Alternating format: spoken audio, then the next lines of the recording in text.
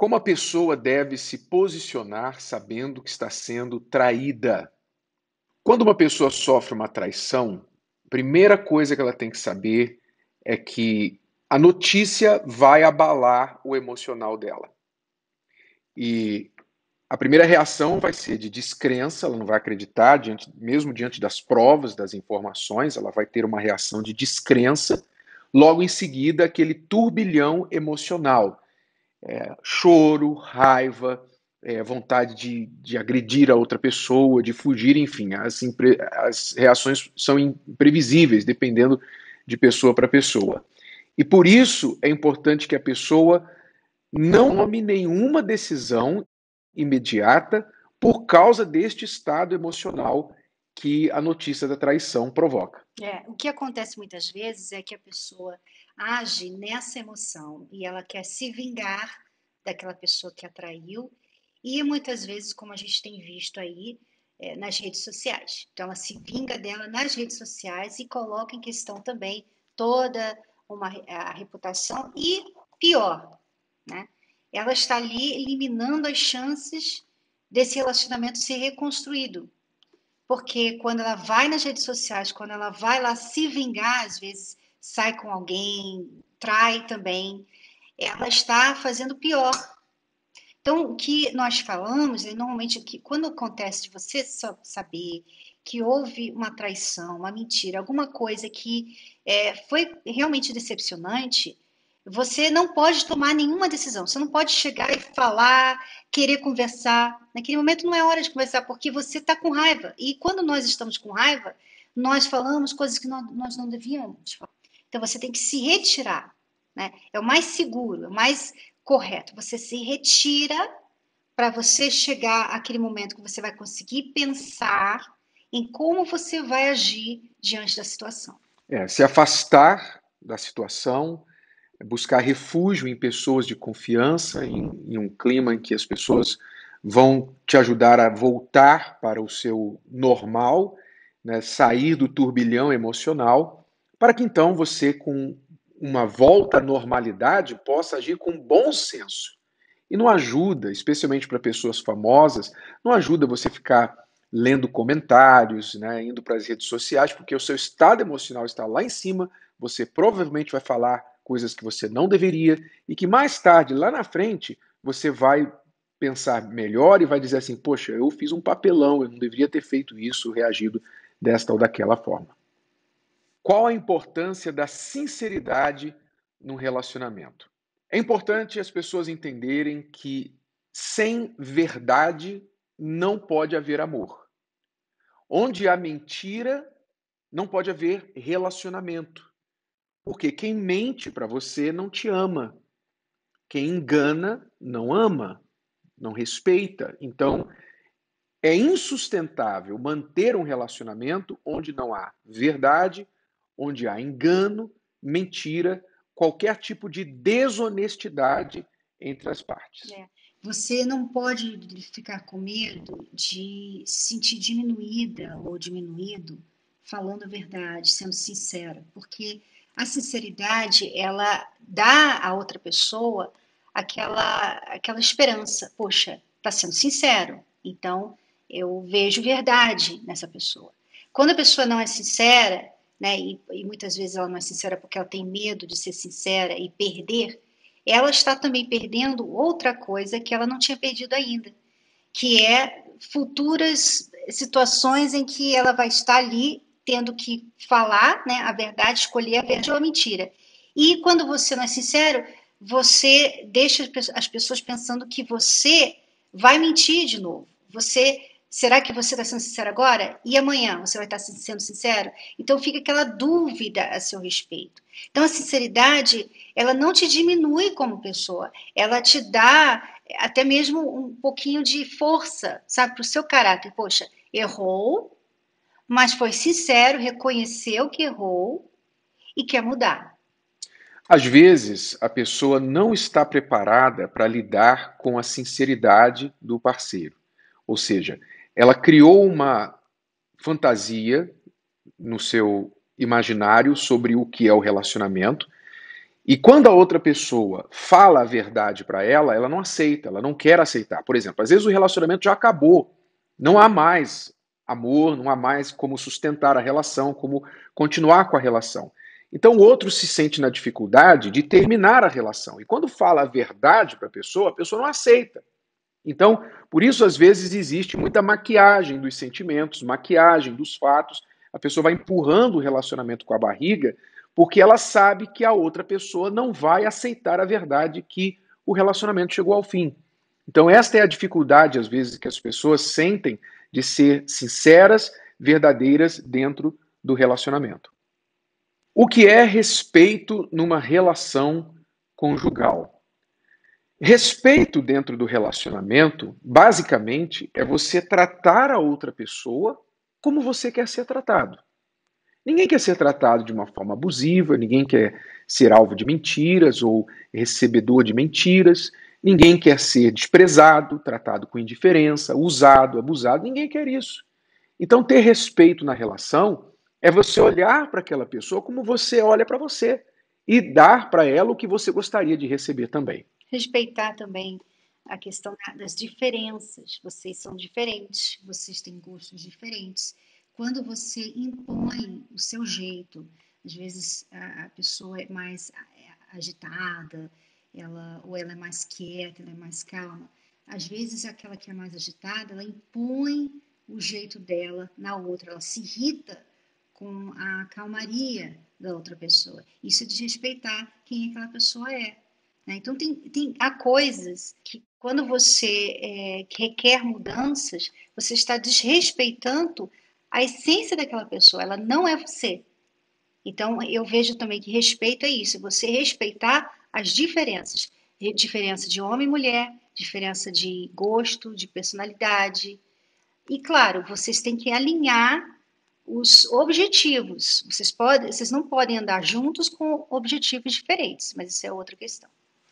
Desrespeitar o outro também muitas vezes acontece quando você entra na relação com menos disposição a compromisso do que o outro.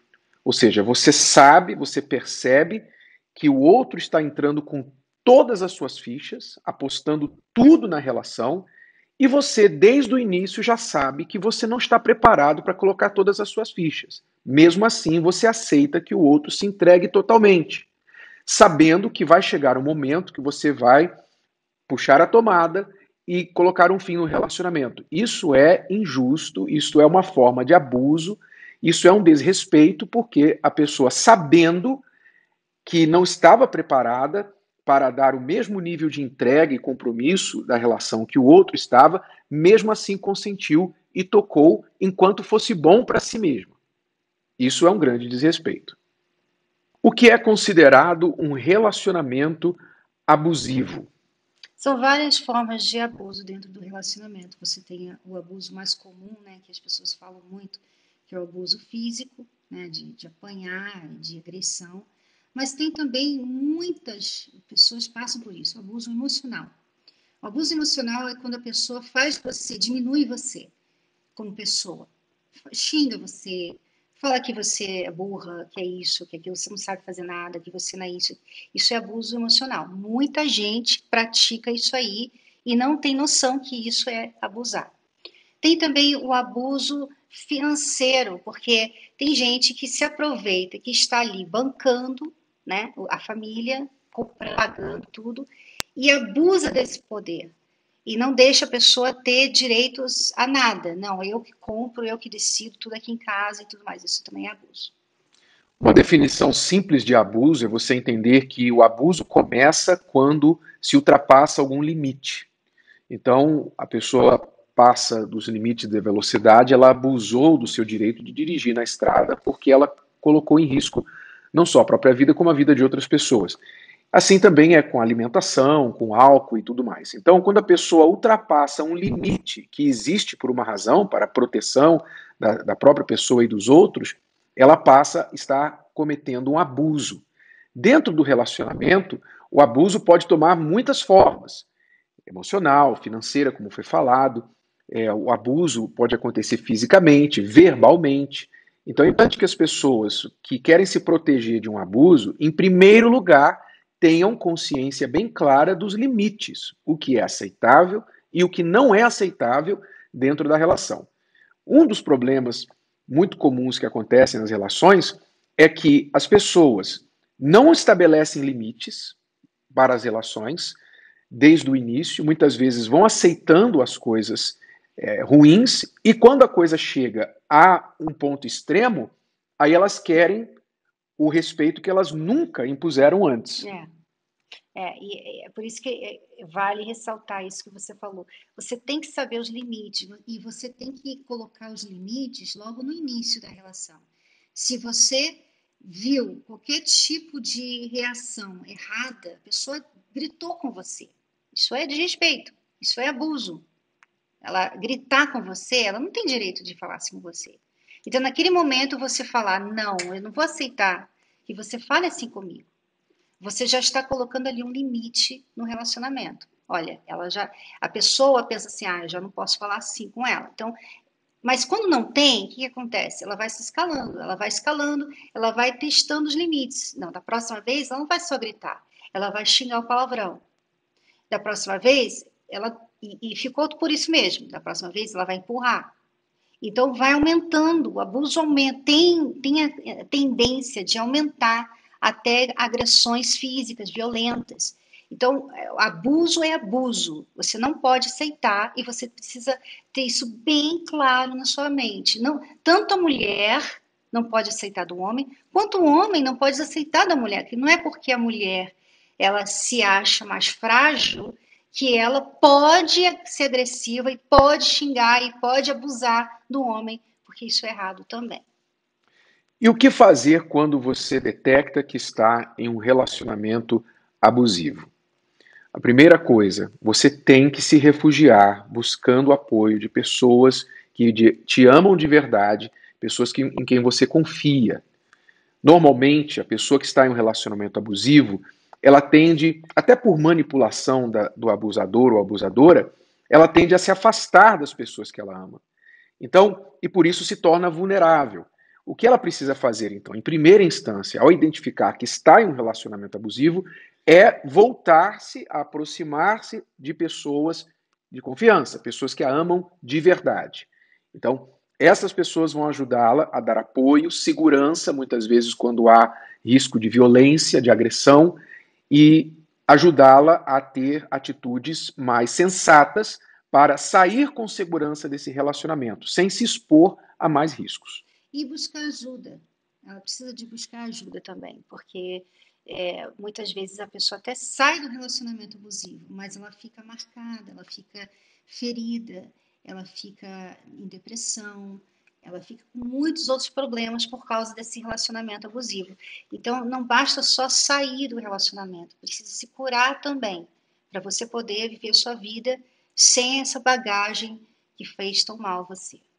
E também tentar entender como foi que você entrou em um relacionamento abusivo, porque ninguém planeja isso, ninguém tem essa intenção, ah, eu estou sentindo vontade de me relacionar com uma pessoa viva. Não, ninguém em sã consciência faz isso.